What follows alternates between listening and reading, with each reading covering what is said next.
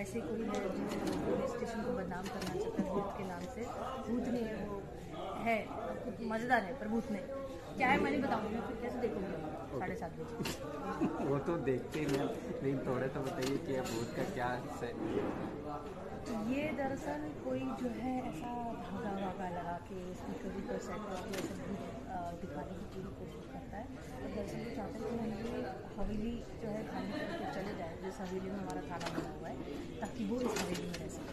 तो हम होने नहीं देंगे।